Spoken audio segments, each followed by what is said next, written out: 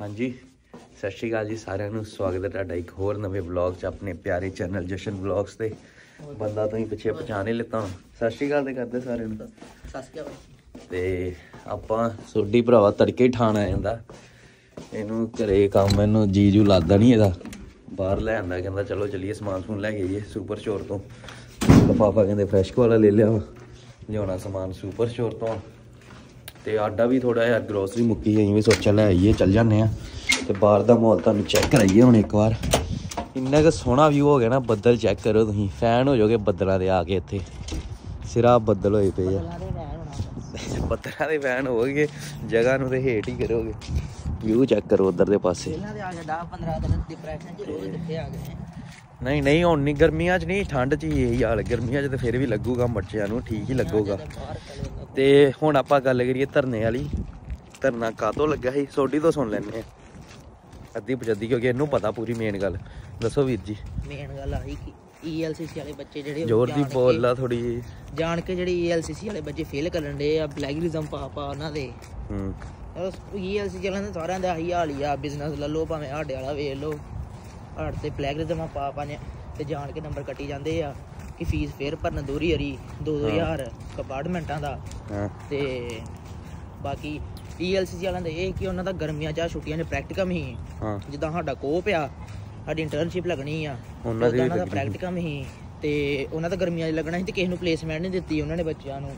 ਕਹਿੰਦੇ 15 ਕ ਬੱਚਿਆਂ ਨੂੰ ਦਿੱਤੀ ਸੀ। 15 ਕੁ 150 ਬੱਚਾ ਈਐਲਸੀਸੀ 'ਚ ਹਾਂ। ਤੇ 15 ਬੱਚਿਆਂ ਨੂੰ ਪਲੇਸਮੈਂਟ ਦਿੱਤੀ ਤੇ ਬਾਕੀ ਜਿਹੜਾ ਬੱਚਾ ਰਹਿ ਗਿਆ ਮਗਰ 100 120 ਜਿੰਨਾ ਵੀ ਉਹਨਾਂ ਨਾਲ ਤੇ ਤੁਸੀਂ ਤੁਹਾਨੂੰ ਸਤੰਬਰ 'ਚ ਪਲੇਸਮੈਂਟ ਦੇਵਾਂਗੇ ਤੇ ਪੈਸੇ ਵੀ ਲਵਾਂਗੇ ਤੁਹਾਡੇ ਤੋਂ। ਪੈਸੇ ਵੀ 3-3000 ਐਕਸਟਰਾ ਦੋ। ਜਿਹੜੀ ਚੀਜ਼ ਉਹਨਾਂ ਨੇ ਪੈਸੇ ਪੇ ਕੀਤੇ ਹੋਏ ਆ ਹਾਂ। ਉਹ ਆਂਦੇ ਦੋਰੀ ਰੀ ਫੇਰ ਪੇ ਕਰੋ। ਜਿੱਦਾਂ ਹੁਣ ਬੱਚੇ ਤੁਸੀਂ ਮੇਰੇ ਵੀਰ ਭਰਾ ਜਿਹੜੇ ਪੈਸੇ ਵੀ ਫੀਸ ਪੇ ਕਰਕੇ ਆ ਰਹੇ ਹੋਗੇ ਕਈ ਕੋਆਪ ਵਾਲੀ ਤੇ ਉਹੀ ਹਿਸਾਬ ਹੁੰਦਾ ਉਹਨਾਂ ਨੇ ਕਿ ਕੋਆਪ ਦੀ ਉਹ ਫੀਸ ਪੇ ਕਰਕੇ ਆਏ ਸੀ ਤੇ ਅੱਗੇ ਜਾ ਕੇ ਉਹਨਾਂ ਤੋਂ ਦੁਬਾਰਾ ਕੋਆਪ ਦੀ ਫੀਸ ਲੈਂਦੇ ਆ। ਪੜਾਉਣਾ ਵੀ ਫ੍ਰੀ ਆ। ਉਹਦੇ ਕਿਹੜਾ ਉਹਨਾਂ ਨੂੰ ਕੋਈ ਪੇ ਮਿਲਣੀ ਆ। ਆਹੋ। ਫ੍ਰੀ ਉਹਨਾਂ ਨੇ ਜਾ ਕੇ ਸਕੂਲਾਂ ਨਿਆਣਿਆਂ ਨੂੰ ਪੜਾਉਣਾ ਖਡਾਉਣਾ ਨਹੀਂ ਕਹਿੰਦੇ ਨਾ ਚੌਹਾਂ ਸਾਲਾਂ ਨੂੰ। ਹੂੰ।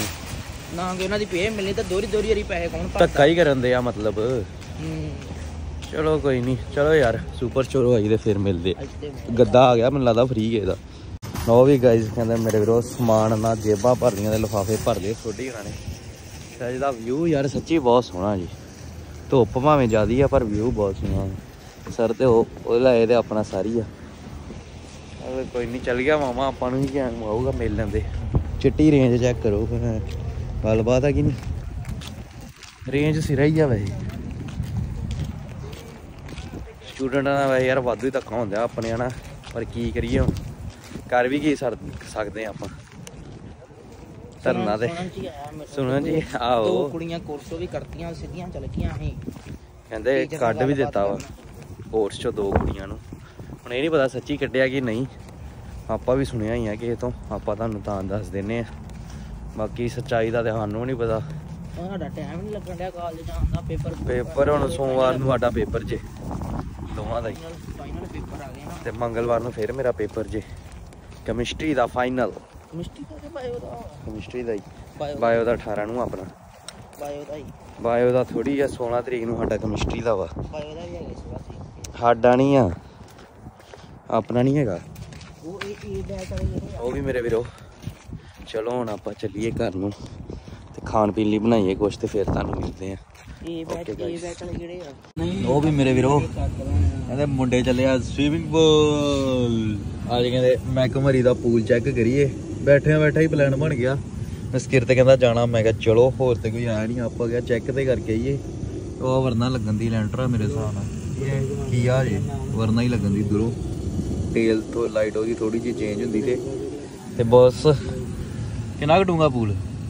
ਮੇਰਾ ਤਾਂ ਭਰਾ ਪਹਿਲੂ ਹੀ ਚੱਲੇ ਹਾਂ ਮੈਂ ਨਹੀਂ ਮਾਰਾ ਉਹ ਵੀਰ ਚ ਕਿੱਲ ਗਿਆ ਹੋਣਾ ਪਹਿਲਾਂ। ਹੈ ਭਾਈ? ਹਾਂ ਕਿੰਨਾ ਕੁ ਡੂੰਗਾ ਜੀ? ਹਵਾ ਡੂੰਗਾ ਨਿਆਰਾ ਵਾ। ਚਲੋ ਠੀਕ ਆ। ਚੱਲੀ ਯਾਰ ਹੁਣ ਜਲਦੀ ਪਹੁੰਚੀਏ। ਬਾਹਰ ਦਾ ਵਿਊ ਪੂਰਾ ਹੋ ਕੇ ਰਿਪੋਰਟ ਹੋਇਆ ਪਿਆ ਵਾ। ਚੱਲਦੇ ਆ ਤੇ ਫਿਰ ਜਾ ਕੇ ਤੁਹਾਨੂੰ ਮਿਲਦੇ ਆ। ਕਹਿੰਦੇ ਮੁੰਡੇ ਲਗੇ ਆ ਪੜਾਈਆਂ ਕਰਨ ਤੇ ਨਾਲੇ ਡਾਂਸਿੰਗ ਕਰਨ। ਡਾਂਸਿੰਗ ਡਾਂਸਿੰਗ ਡਾਂਸਿੰਗ ਯਾਰ ਆਪਾਂ ਉਧਰ ਤੇ ਗਏ ਨਹੀਂ ਯਾਰ ਪੂਲ ਵਾਲਾ। ਪੂਲ ਤੇ ਨਾ ਅਸਲ 'ਚ ਜਾਣਾ ਹੀ ਆਪਾਂ, ਪਰ ਨਾ ਫਿਰ ਯਾਰ ਵਾਪਸ ਨਹੀਂ ਤਾਂ ਕਰਕੇ ਆ ਗਏ, ਕਿਉਂਕਿ ਪੰਗਾ ਕੀ ਪਿਆ, ਜਦੋਂ ਪੂਲ ਤੇ ਗਏ ਸੀ। ਤੇ ਇਸ਼ੂ ਹੋ ਗਿਆ ਉੱਥੇ ਕੋਈ। ਰਸਤੇ 'ਚ ਜਾਂਦੇ ਜਾਂਦੇ ਜਿਹੜੇ ਵੀਰ ਨਾਲ ਗਏ ਸੀ, ਉਹਨੂੰ ਵੀਰ ਨੂੰ ਪੈ ਗਿਆ ਕੰਮ। ਤੇ ਫਿਰ ਸਾਡੇ ਕੋਲ ਨਹੀਂ ਜਾਏਗਾ ਵੀਰ ਤੇ ਵੈਸੇ ਕਹਿੰਦਾ ਸੀ ਕਿ ਸਾਨੂੰ ਕਿ ਚੱਲ ਜਾਓ ਤੁਸੀਂ। ਤੇ ਆਪਾਂ ਫਿਰ ਕਿਹਾ ਕਿ ਛੱਡੋ, ਕੀ ਜਾਣਾ? ਫਿਰ ਅਸੀਂ ਆ ਗਏ ਵਾਪਿਸ। ਤੇ ਆ ਗਿਆ ਯਾਰ, ਮੈਂ ਤੇ ਲੱਗ ਗਿਆ ਸੀ ਪੜ੍ਹਨ, ਕਿਉਂਕਿ ਕੱਲ ਹੈਗਾ ਮੇਰਾ ਐਗਜ਼ਾਮ ਜਿੱਦਾਂ ਕਿ ਜੀਓਗ੍ਰਾਫੀ ਦਾ। ਹੈਗਾ ਤੇ ਵੈਸੇ ਆਨਲਾਈਨ ਆ। ਪਰ ਫਿਰ ਵੀ ਮੈਂ ਸੋਚਿਆ ਕਿ ਪੜ੍ਹ ਲਈਏ ਤੇ ਥੋੜਾ ਬਹੁਤ ਪੜ੍ਹਨਾ ਜ਼ਰੂਰੀ, ਫਿਰ ਉਸ ਤੋਂ ਅਗਲੇ ਦਿਨ ਜਿੱਦਾਂ ਕਿ ਪਰਸੋਂ ਪਰਸੋਂ ਹੈਗਾ ਮੇਰਾ ਐਗਜ਼ਾਮ ਕੈਮਿਸਟਰੀ ਦਾ ਜੋ ਕਿ ਬਹੁਤ ਜ਼ਰੂਰੀ ਆ ਤੇ ਉਹਦਾ ਵੀ ਮੈਂ ਪੜ੍ਹਨ ਦਾ ਹੀ ਥੋੜਾ ਬਹੁਤ ਪੜਿਆ ਵਾ ਤੇ ਬਾਕੀ ਦੇ ਆਪਾਂ ਕੀਤਾ ਨਹੀਂ ਤੇ ਕਰਾਂਗੇ ਹੌਲੀ ਹੌਲੀ ਅੱਜ ਰਾਤ ਪਈ ਆ, ਸਾਰੀ ਰਾਤ ਹੈਗੀ ਆ ਆਪਣੇ ਕੋ ਆਪਾਂ ਜ਼ਿਆਦਾਤਰ ਤੇ ਮੈਂ ਰਾਤ ਨੂੰ, ਮੇਰੀ ਆਦਤ ਹੈ ਰਾਤ ਨੂੰ ਪੜਨ ਦੀ ਤੇ ਰਾਤ ਨੂੰ ਪੜੀਦਾ ਹੁੰਦਾ। ਤੇ ਧਰਨੇ ਵਾਲੀ ਗੱਲ ਆਪਾਂ ਤੁਹਾਨੂੰ ਸਾਰੀ ਦੱਸਤੀ ਸੀ ਕਿ ਕੀ ਇਸ਼ੂ ਹੋਇਆ ਵਾ। ਉਹੀ ਹੈ ਕਿ ਇਹ ਚੀਜ਼ ਹੁੰਦੀ ਹੈ ਕਿ ਜਿਹੜੇ ਪਹਿਲਾਂ ਹੀ ਬੱਚੇ ਪੈਸੇ ਤਾਰ ਕੇ ਆਏ ਆ। ਉਹਨਾਂ ਨੂੰ ਦੁਬਾਰੇ ਉਸੇ ਚੀਜ਼ ਦੇ ਪੈਸੇ ਪੇ ਕਰਨੇ ਪੈਂਦੇ ਆ ਤੇ ਇਹ ਕੋਈ ਮਤਲਬ ਕਿ ਜੈਨੂਨ ਹੋਈ ਨਹੀਂ ਗੱਲ ਕਿ ਮਤਲਬ ਇਹ ਗਲਤ ਗੱਲ ਆ ਵੈਸੇ ਕਾਲਜ ਵਾਲੀ। ਪਰ ਚਲੋ ਕੋਈ ਨਹੀਂ ਵੇਖਦੇ ਆ ਕੀ ਰਿਐਕਸ਼ਨ ਲੈਂਦਾ ਕਾਲਜ ਤੇ ਬੱਚੇ ਕੀ ਰਿਐਕਸ਼ਨ ਕਰਦੇ ਹੈਗੇ ਹੋ ਰਿਐਕਸ਼ਨ ਤੇ ਬੱਚੇ ਕਰ ਹੀ ਰਹੇ ਆ। ਤੇ ਬਾਕੀ ਸੁਣਨ ਚ ਜਿੱਦਾਂ ਸੋਢੀ ਨੇ ਦੱਸਿਆ ਸੀ ਕਿ ਸੁਣਨ ਚ ਆਇਆ ਵਾ ਕਿ ਦੋ ਬੱਚਿਆਂ ਨੂੰ ਕਾਲਜ ਤੋਂ ਕੱਢ ਵੀ ਦਿੱਤਾ, ਮਤਲਬ ਹਨਾ। ਤੇ ਬਾਕੀ ਸਾਨੂੰ ਵੀ ਪਤਾ ਨਹੀਂ ਹੈ ਸੱਚੀ ਗੱਲ ਕੀ ਆ। ਤੇ ਵੇਖਾਂਗੇ ਜਦੋਂ ਕੋਈ ਮਿਲੂਗਾ ਉਹ ਕੋਰਸ ਦਾ ਬੱਚਾ ਤੇ ਉਹਦੇ ਨਾਲ ਗੱਲ ਜ਼ਰੂਰ ਕਰਾਂਗੇ ਆਪਾਂ। ਤੇ ਹੁਣ ਆਪਾਂ ਗੱਲ ਕਰੀਏ ਕਿ ਮੇਨ ਟੇਕ ਵਾਲੇ ਵੀ ਦਾ ਮੈਸੇਜ ਆਉਂਦਿਆ ਸੀ ਕਿ ਮਤਲਬ ਮੇਨ ਟੇਕ ਵਾਲੇ ਬੱਚਿਆਂ ਦਾ ਕਿ ਸਾਨੂੰ ਤੇ ਕੋਈ ਉਹ ਨਹੀਂ ਆ ਨਾ, ਇਹ ਚ ਇਸ਼ੂ ਕਿ ਮਤਲਬ ਆਉਣ ਵਾਲੇ ਬੱਚਿਆਂ ਨੂੰ ਤੇ ਨਹੀਂ ਕੋਈ ਇਫੈਕਟ ਹੈਗਾ ਵੀ ਵੀਰ ਤੁਹਾਨੂੰ ਕੋਈ ਇਫੈਕਟ ਨਹੀਂ ਆ। ਕਿਉਂਕਿ ਇਹ ਬਸ ਪਿਛਲੇ ਸਮੈਸਟਰ ਵਾਲਿਆਂ ਨਾਲ ਹੋਈ ਗੱਲ, ਜਿਹੜੇ ਹੁਣ ਪਹਿਲਾਂ ਦੇ ਆਏ ਹੋਏ ਆ। ਤੇ ਬਾਕੀ ਯਾਰ ਮੈਂ ਅੱਜ ਗੱਲ ਕਰਨੀ ਤੁਹਾਡੇ ਨਾਲ। ਮੈਨੂੰ ਬਹੁਤ ਸਾਰੇ ਬੱਚਿਆਂ ਦੇ ਮੈਸੇਜ ਆਉਂਦੇ ਸੀ ਵੀਰੇ ਜੌਬ ਜੌਬ ਜੌਬ ਕੀ ਸਾਨੂੰ ਇਹ ਵਾਲਾ ਐਕਸਪੀਰੀਅੰਸ ਹੈਗਾ ਸਾਡੇ ਕੋਲ ਸਾਡੇ ਕੋਲ ਇਹ ਵਾਲਾ ਐਕਸਪੀਰੀਅੰਸ ਆ। ਅਸੀਂ ਪਹਿਲਾਂ ਇਹ ਕੰਮ ਕਰਦੇ ਰਹੇ ਹਾਂ, ਸਾਨੂੰ ਜੌਬ ਮਿਲ ਜੂਗੀ। ਆ ਕੇ ਕਿੱਦਾਂ ਵਾ? ਬਈ ਦੇਖੋ ਯਾਰ, ਚੱਕਰ ਤੇ ਕੀ ਆ? ਜਿੱਦਾਂ ਚੱਲਣ ਦੀ ਆ, ਸਾਰੇ ਪਾਸੇ ਆਪਣੇ ਨਾ ਰਿਸੈਸ਼ਨ ਹੀ ਚੱਲਣ ਦੀ, ਹਨਾ? ਤੁਹਾਨੂੰ ਸਾਰਿਆਂ ਨੂੰ ਪਤਾ ਜੇ ਕੈਨੇਡਾ 'ਚ ਰਿਸੈਸ਼ਨ ਚੱਲਣ ਦੀ ਆ, ਤੇ ਜੌਬਸ ਦਾ ਤੇ ਵੈਸੇ ਹੀ ਬਹੁਤ ਔਖਾ ਹੋਇਆ ਪਿਆ ਵਾ। ਕਿ ਮਤਲਬ ਆਲਮੋਸਟ ਜਿੰਨੀਆਂ ਪ੍ਰੋਵਿੰਸਸ ਆ ਸਾਰਿਆਂ 'ਚ ਔਖਾ ਹੀ ਹੈ ਜੌਬ ਦਾ। ਕਿਤੇ ਨਾ ਕਿਤੇ ਹੈਗੀ ਚਲੋ ਹੋਊਗੀ ਜੌਬ ਮੈਂ ਮੈਨੂੰ ਇੰਨਾ ਜ਼ਿਆਦਾ ਪਤਾ ਨਹੀਂ ਆ। ਪਰ ਚੱਕਰ ਮਤਲਬ ਕਿ ਮੋਸਟਲੀ ਤਾਂ ਇਦਾਂ ਹੀ ਆ ਕਿ ਜੌਬਸ ਨਹੀਂ ਮਿਲ ਰਹੀਆਂ। ਸਾਰੇ ਬੰਨੇ ਇਹੀ ਹੋ ਰਿਹਾ ਕੰਮ ਕੰਮ ਕੰਮ ਤੇ ਨਹੀਂ ਮਿਲ ਰਿਹਾ ਕੰਮ ਜਿੱਦਾਂ ਕਿ ਜੇ ਜੇ ਮਿਲ ਰਿਹਾ ਵਾ ਤੇ ਆਰਸ ਨਹੀਂ ਪੂਰੇ ਦੇ ਰਹੇ। ਆਰਸ ਘੱਟ ਦੇ ਰਹੇ ਆ ਕਿਉਂਕਿ ਉਹ ਇੰਨੇ ਜ਼ਿਆਦਾ ਬੱਚਿਆਂ ਨੂੰ ਹੁਣ ਇੰਨੇ ਆਰਸ ਕਿੱਦਾਂ ਵੰਡਦੇ ਦੇਣ ਸਾਰਿਆਂ ਨੂੰ ਕੰਮ ਦੇਣਾ ਜ਼ਰੂਰੀ ਆ, ਹਨਾ? ਜਿੱਦਾਂ ਵਾਲਮਾਰਟ ਵਾਲੇ ਆ, ਉਹ ਆਰਸ ਨਹੀਂ ਦੇ ਰਹੇ ਕਿਉਂਕਿ ਬਹੁਤ ਸਾਰੇ ਉਹਨਾਂ ਤੋਂ EMPLOYEES ਹੈਗੇ ਆ ਤੇ ਹਰ ਇੱਕ ਨੂੰ ਜੇ ਉਹ 40 40 ਘੰਟੇ ਦੇ ਜਾਣ ਤੇ ਜਿਹੜੇ ਪਿੱਛੇ ਰਹਿਣਗੇ, ਉਹ ਕੀ ਕਰਨਗੇ, ਹਨਾ? ਜਿੱਦਾਂ ਕਰਕੇ ਜੌਬ ਦਾ ਹਲੇ ਥੋੜਾ ਜਿਹਾ ਆਪਣੇ ਇੱਥੇ ਔਖਾ ਵਾ। ਆਪਣੇ ਫੋਰਟ ਮੈਕਮਰੀ 'ਚ ਵੀ ਔਖਾ ਚੱਲ ਰਿਹਾ ਵਾ ਬਟ ਨੋ ਡਾਊਟ ਕਿ ਮਿਲ ਜਾਊਗਾ, ਚਲੋ ਆਪਾਂ ਘੁੰਮਾਂਗੇ ਫਿਰਾਂਗੇ, ਦੇਖਦੇ ਆਂ ਪੇਪਰਾਂ ਤੋਂ ਬਾਅਦ ਮੈਂ ਇਹੀ ਕੰਮ ਤੇ ਹੀ ਆ ਕਿ ਕੰਮ ਹੀ ਲੱਭਣਾ ਵਾ, ਕੋਸ਼ਿਸ਼ ਕਰਾਂਗੇ ਲੱਭਣ ਦੀ। ਤੇ ਮੇਨ ਟੇਕ ਵਾਲੇ ਵੀਰਾਂ ਨੂੰ ਵੀ ਮਿਲਣਗੇ, ਜਿਹੜੇ ਮੇਰੇ ਵੀਰ ਭਰਾ ਆ ਰਹੇ ਆ ਕਈ, ਉਹਨਾਂ ਨੂੰ ਮਿਲਾਂਗੇ ਤੇ ਆਪਾਂ ਕੰਮ ਵੀ ਲੱਭਾਂਗੇ। ਤੇ ਬਾਕੀ ਦੇਖੋ ਮਿਲਦਾ ਕਿ ਨਹੀਂ ਮਿਲਦਾ। ਤੇ ਹੁਣ ਇੱਥੇ ਆ ਕੁਐਸਚਨ ਇੱਕ ਖੜਾ ਹੋ ਜਾਂਦਾ ਵਾ ਕਿ ਕੈਨੇਡਾ ਆਉਣਾ ਜ਼ਰੂਰ ਕੀ ਸਹੀ ਆ ਹੁਣ ਇਸ ਟਾਈਮ ਤੇ ਕੀ ਨਹੀਂ? ਦੇਖੋ, ਉਹ ਹੁਣ ਆਪਣਾ ਬਣ ਜਾਂਦਾ ਯਾਰ, ਜਿੱਦਾਂ ਪਰਸਨਲ ਡਿਸੀਜਨ ਕਿ ਤੁਸੀਂ ਕੀ ਚੂਜ਼ ਕਰਦੇ ਹੋ? ਕੈਨੇਡਾ ਦੇ ਇਲਾਵਾ ਤੁਸੀਂ ਯੂਕੇ ਵੀ ਚੂਜ਼ ਕਰ ਸਕਦੇ ਹੋ, ਆਸਟ੍ਰੇਲੀਆ ਵੀ ਕਰ ਸਕਦੇ ਹੋ ਯੂਐਸਏ ਵੀ ਕਰ ਸਕਦੇ ਹੋ, ਹਨਾ? ਪਰ ਮੇਨ ਜਿਹੜਾ ਕੁਐਸਚਨ ਹੈ ਕਿ ਕੈਨੇਡਾ ਆਓ ਜਾਂ ਨਾ, ਨਹੀਂ ਆਣਾ ਆਹ ਵਾਲੇ ਟਾਈਮ ਪੀਰੀਅਡ ਦੇ ਵਿੱਚ ਅੱਗੇ ਜਾ ਕੇ ਕੋਈ ਪਤਾ ਕਿ ਕੈਨੇਡਾ ਬੰਦ ਹੀ ਕਰਦੇ ਕਿਉਂਕਿ ਜਿਹੜੇ ਹਿਸਾਬ ਸਟੂਡੈਂਟਸ ਆ ਰਹੇ ਆ ਕੁਝ ਪਤਾ ਨਹੀਂ ਆ। ਇਹ ਤਾਂ ਮੈਂ ਬਸ ਗੱਲ ਹੀ ਕਰ ਰਿਹਾ ਕਿ ਜਿਹੜੇ ਹਿਸਾਬ ਨਾਲ ਆ ਰਹੇ ਆ ਕੁਝ ਪਤਾ ਨਹੀਂ ਕਹਿ ਨਹੀਂ ਸਕਦੇ। ਮੈਂ ਕਿਤੇ ਦੇਖਿਆ ਦੁੱਖਿਆ ਨਹੀਂ, ਬਸ ਆਪਣੀ ਆਪਣਾ ਓਪੀਨੀਅਨ ਦੇ ਰਿਹਾ ਵਾਂ, ਹਨਾ? ਕਿਉਂਕਿ ਰਿਸੈਸ਼ਨ ਵੀ ਚੱਲ ਰਹੀ ਹੈ ਤੇ ਰਿਸੈਸ਼ਨ ਕਦੋਂ ਤੱਕ ਐਂਡ ਹੁੰਦੀ ਹੈ ਇਹ ਕਿਸੇ ਨੂੰ ਨਹੀਂ ਪਤਾ। ਕਿਉਂਕਿ ਜਦੋਂ ਮੈਂ ਇੰਡੀਆ ਸੀ, ਤੇ ਉਦੋਂ ਮੈਨੂੰ ਕਹਿੰਦੇ ਸੀ ਕਿ ਜਦੋਂ ਮੈਂ ਇੰਡੀਆ ਸੀ ਨਾ, ਹਨਾ? ਤੇ ਸਤੰਬਰ ਫਾਈਲ ਵਗੈਰਾ ਜਦੋਂ ਆਪਾਂ ਲਾਈ, ਉਦੋਂ ਕਹਿੰਦੇ ਸੀ ਕਿ ਜਨਵਰੀ 2024 ਚ ਰਿਸੈਸ਼ਨ ਖਤਮ ਹੋ ਜਾਣੀ ਆ। ਕਿ ਸਾਰੇ ਬੰਨੇ ਜੌਬ ਵਗੈਰਾ ਮਿਲਣ ਲੱਗ ਜੂਗੀ ਰਿਸੈਸ਼ਨ ਚੋਂ ਬਾਹਰ ਆ ਜਾਣਾ ਕੈਨੇਡਾ ਪਰ ਹਲੇ ਤੱਕ ਆਇਆ ਨਹੀਂ ਆ। ਤੇ ਉਹ ਤੇ ਚਲੋ ਬਾਅਦ ਦੀ ਗੱਲ ਹੁਣ ਆਂਦਾ ਵਾ ਕਿ ਨਹੀਂ ਆਂਦਾ, ਹਨਾ? ਤੇ ਫਿਰ ਇਸ ਟਾਈਮ ਤੇ ਤੁਹਾਨੂੰ ਆਉਣਾ ਸਹੀ ਆ ਕਿ ਨਹੀਂ? ਤੇ ਉਹਦੀ ਗੱਲ ਕਰੀਏ ਆਪਾਂ ਅਗਰ ਤੇ ਉਹ ਇਹ ਇਦਾਂ ਸਹੀ ਆ, ਜੇ ਤੇ ਤੁਹਾਡੇ ਕੋਲ ਬ੍ਰਦਰ ਹੈਗੀ ਤਗੜੀ ਰੈਫਰੈਂਸ ਕਿ ਮੰਨ ਲਓ ਤੁਹਾਡਾ ਕੋਈ ਬਹੁਤ ਯਾਰ, ਵੀਰ, ਭਰਾ, ਬਹੁਤ ਮਤਲਬ ਕਿ ਖਾਸ ਬੰਦੇ ਤੁਹਾਡੇ ਕੈਨੇਡਾ 'ਚ ਹੈਗੇ ਆ ਜੋ ਤੁਹਾਨੂੰ ਅੱਗੇ ਕਿਤੇ ਨਾ ਕਿਤੇ ਐਡਜਸਟ ਕਰਾ ਦੇਣ ਕੰਮ 'ਚ, ਤੇ ਫਿਰ ਤੇ ਤੁਹਾਨੂੰ ਬਹੁਤ ਫਾਇਦਾ ਵਾ, ਕਿਉਂਕਿ ਇੱਥੇ ਮੇਨਲੀ ਹੁਣ ਕੀ ਚੱਲਣ ਦਿਆ ਵਾ ਕਿ ਰੈਫਰੈਂਸ ਦੇ ਸਿਰ ਤੇ ਕੰਮ ਮਿਲਣ ਦਿਆ ਵਾ ਕਿ ਤੁਹਾਡੇ ਕੋਲ ਜੇ ਤੇ ਰੈਫਰੈਂਸ ਹੈਗੀ ਆ, ਤੁਹਾਨੂੰ ਕੰਮ ਆਉਣ ਤੋਂ ਮਹੀਨੇ ਦੇ ਵਿੱਚ ਵਿੱਚ ਮਿਲ ਜੂਗਾ। ਹਨਾ, ਕਿਉਂਕਿ ਰੈਫਰੈਂਸ ਵੀ ਬੰਦਾ ਕਿੰਨੀ, ਇੰਨੀ ਜਲਦੀ ਪਵਾ ਕੇ, ਇਹ ਨਹੀਂ ਹੈ ਕਿ ਆਓਗੇ ਤਾਂ ਸਿੱਧਾ ਰੈਫਰੈਂਸ ਪਾਈ ਤੇ ਨਾਲ ਹੀ ਕੰਮ। ਐਦਾਂ ਨਹੀਂ ਆ, ਮਹੀਨੇ ਦੇ ਵਿੱਚ ਵਿੱਚ ਤੁਹਾਨੂੰ ਰੈਫਰੈਂਸ 'ਚ ਕੰਮ ਜੇ ਤੇ ਤੁਹਾਨੂੰ ਜਾਣ ਪਛਾਣ ਹੈਗੀ ਆ, ਤੇ ਮਿਲ ਸਕਦਾ ਵਾ।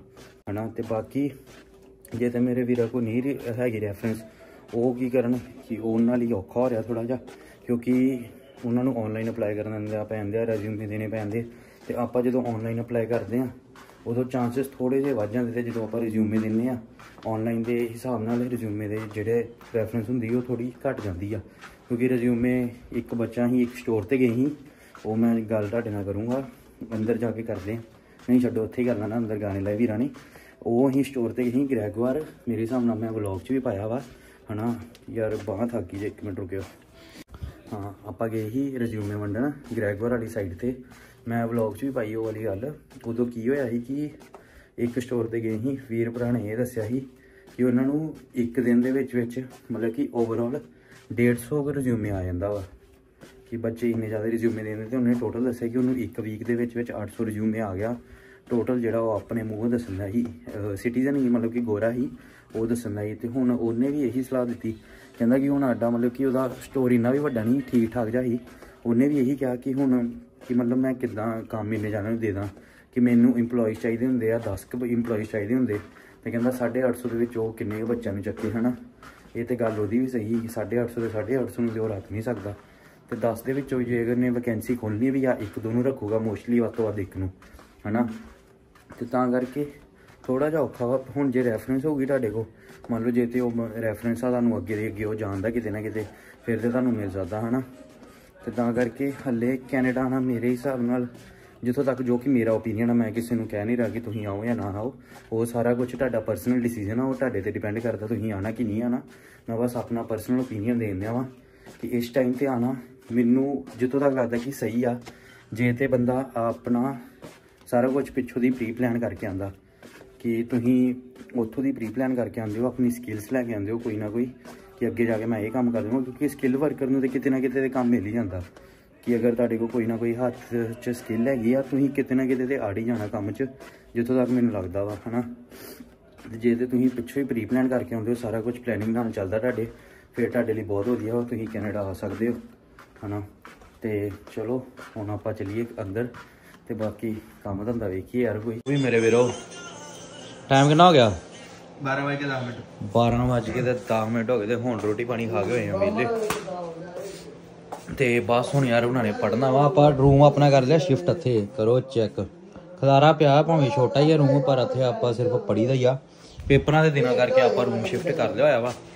ਤੇ ਇੱਥੇ ਕਿਉਂਕਿ ਵੀਰ ਭਰਾ ਸਾਰੇ ਸੌਂਦੇ ਆ, ਤੇ ਹੁਣ ਆਪਾਂ ਕਰੀਏ ਯਾਰ ਵਲੌਗ ਦੀ ਐਂਡਿੰਗ ਤੇ ਇੱਧਰ ਸਾਰੇ ਜਣੇ ਮੇਰੇ ਵੀਰ ਭਰਾ ਪੜਨ ਦੇ ਆ ਪੜਾਈਆਂ ਹੋ ਰਹੀਆਂ ਨੇ।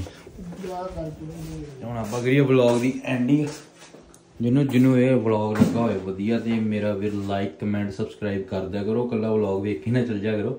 ਜਰੂਰ ਕਰਿਆ ਕਰੋ। ਵਧੀਆ ਲੱਗਦਾ, ਹੋਰ ਮਨ ਕਰਦਾ ਵਲੌਗ ਬਣਾਉਣ ਦਾ। ਕਿਉਂਕਿ ਟਾਈਮ ਸ਼ਡਿਊਲ ਸਾਡਾ ਬਹੁਤ ਬਿਜ਼ੀ ਚੱਲ ਰਿਹਾ। ਫਿਰ ਵੀ ਆਪਾਂ ਤੁਹਾਡੇ ਲਈ ਵਲੌਗ ਕੱਢਣ ਦੀ ਪੂਰੀ ਕੋਸ਼ਿਸ਼ ਕਰੀਦੀ ਆ। ਤੇ ਅੱਜ ਦਾ ਵਲੌਗ ਥੋੜਾ ਜਿਹਾ ਚਲੋ ਲੇਟ ਆਇਆ ਹੋਣਾ ਵਾ। ਹਨਾ ਕੱਲ ਵਾਲਾ ਵਲੌਗ ਮਤਲਬ ਥੋੜਾ ਜਿਹਾ ਲੇਟ ਆ ਜਾਊਗਾ। ਜਿਹੜਾ ਅੱਜ ਦਾ ਮੈਂ ਅਪਲੋਡ ਕਰਨਾ, ਕਿਉਂਕਿ ਬਿਜ਼ੀ ਹੀ ਥੋੜੇ ਜੇ ਕੰਮ ਕੁਮ ਕਰਨ ਦੇ ਹੀ ਆਪਣੇ, ਤਾਂ ਕਰਕੇ। ਤੇ ਮਾਫੀ ਦਿਓ ਉਹਦੇ ਲਈ, ਤੇ ਵਲੌਗ ਇਦਾਂ ਹੀ ਆਉਂਦੇ ਰਹਿਣਗੇ। ਤੁਹਾਡੇ ਜਿੱਦਾਂ ਦੇ ਵੀ ਆਉਂਦੇ ਆ ਇੰਜੋਏ ਕਰਿਆ ਕਰੋ।